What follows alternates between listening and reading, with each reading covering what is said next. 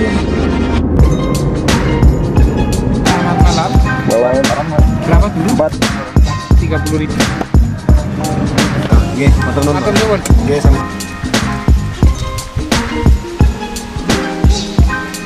Gimana Tegal Mas Arif? Mantap. Malam-malam ke Gucci nggak pakai jaket dari, dari acara kondangan. Inisiasi siapa? Ini nih. Ngapain toh? Kita lagi di Gucci. Ini ada Salim, Halo. Tito, Hai. Faisal. Oke, kerjaanmu sekarang di mana, Lim? Suatu perusahaan yang bisa dibilang cukup kapitalis di Indonesia.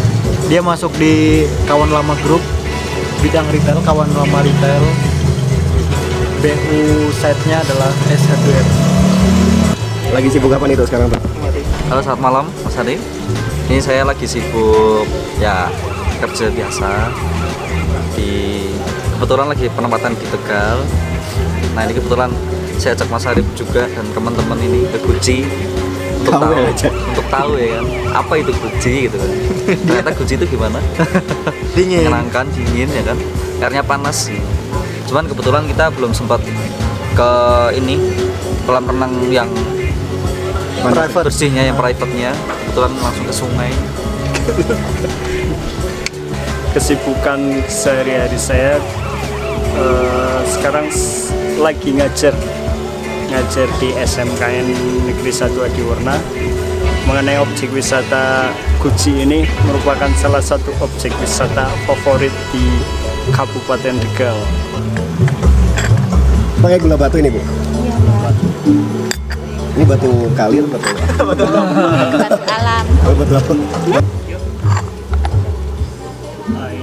Ini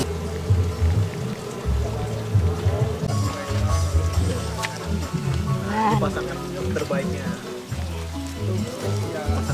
Nah, ini pasangan terbaik teh yang kita Coba kamu makan itu sambil minum itu. Ini makan. nanti berantem di dalam.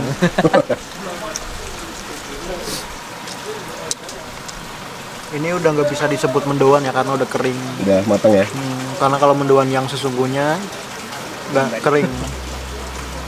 Goreng masuk ke wajan langsung angkat pakai tangan kosong. Coba dulu tehnya. Tehnya pekat banget, masih ada gula batunya juga.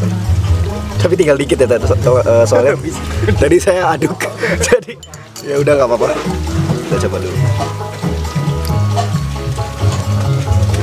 nggak terlalu pahit nggak terlalu manis. Ini sepet ya, rasanya tuh sepet tapi enak gitu loh manis. Eh, ini beda dari teh lainnya ya. Ini pakainya gula batu. Sebenarnya nggak usah diaduk nggak apa-apa karena setiap kali kita minum terus sudah habis kita tuang lagi, otomatis nanti eh, manis sendiri. Eh, mari kita cicipi. Lezat.